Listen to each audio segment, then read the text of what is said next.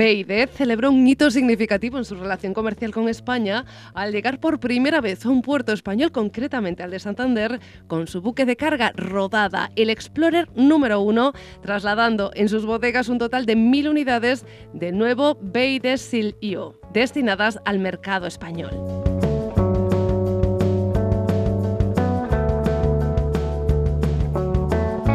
La llegada de este barco simboliza un paso importante en la estrategia de la firma china para fortalecer su presencia en el mercado español. En esta primera ocasión se ha optado por el puerto de Santander, en lo que representa un avance en la importación directa de coches y recambios a España, lo que permitirá a los clientes de la marca disponer de sus pedidos de una forma más ágil, eficiente y sobre todo con menores esperas.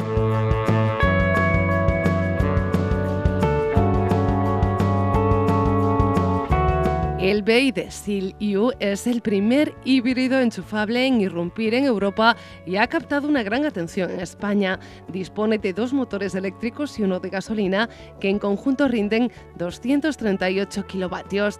Tiene tracción total y una eficiente Blade Battery de 18 kilovatios hora.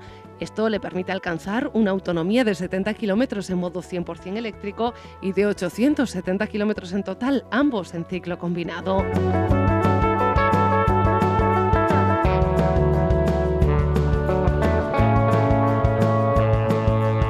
El CU Boost dispone de un sistema híbrido con tracción delantera que combina un motor eléctrico y otro de gasolina que en conjunto desarrollan 160 caballos. También dispone de una batería de 18,3 kWh con la que registra una autonomía 100% eléctrica de 80 km y total de 1080 km en ciclo combinado.